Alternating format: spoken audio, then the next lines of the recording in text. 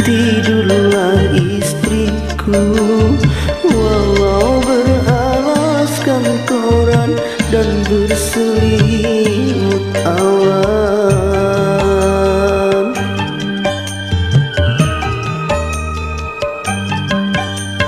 Hentikan tangismu Tabahkan